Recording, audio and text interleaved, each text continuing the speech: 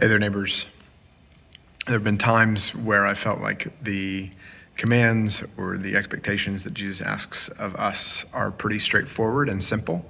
And there have been times where the feeling I get from those simple commands is this is way harder than I could ever possibly do, and I can't do it without you. So we're going to take a couple of weeks, really just two weeks, and look at an example in Scripture where Jesus explores that idea. And in those moments where we feel like we have been hurt too deeply and we feel like we're, we're the, the expectation of Jesus is just too high, um, he's going to give us a different perspective on how to approach those things and how he is uh, planning to walk with us in, in special ways. So I'm looking forward to this series. It's called Is He Worthy? And I'd encourage you to connect with us this weekend, um, uh, either here in person on Sunday morning or uh, through the live stream. So we'll see you soon.